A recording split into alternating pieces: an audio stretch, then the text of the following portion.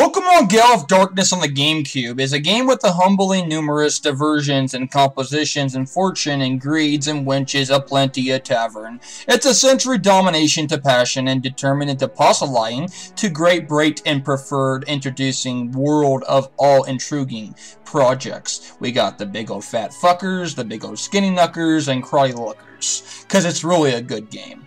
Um, I beat it finally, and it was a pain in my ass, like a ship in a gas bottle.